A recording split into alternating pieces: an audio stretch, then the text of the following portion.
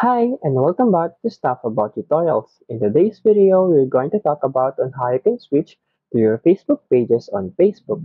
Maybe you want to manage your Facebook page on Facebook but you don't know on how you can switch your account to your Facebook pages. So today, I am going to teach you on how you can switch your account to your Facebook pages. Check the video description and I will try to leave the written instructions. So without further ado, let's get into the video. First you need to do is to open your Facebook application.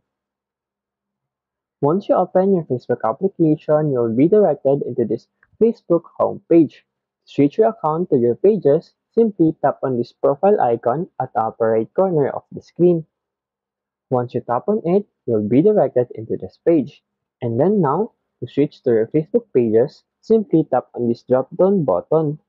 And you will see in here your profiles and pages. In here, for example, I want to change on my Facebook page this Moon Moon. Simply tap on that Facebook page. Once you tap on it, it will be automatically switched to your Facebook page. There you go. If you wanted to know on how you can switch your account to your Facebook pages, that is the easiest way I know how. If you know another way on how you can switch your account to your Facebook pages, leave a comment below. Also, be sure to subscribe for more videos.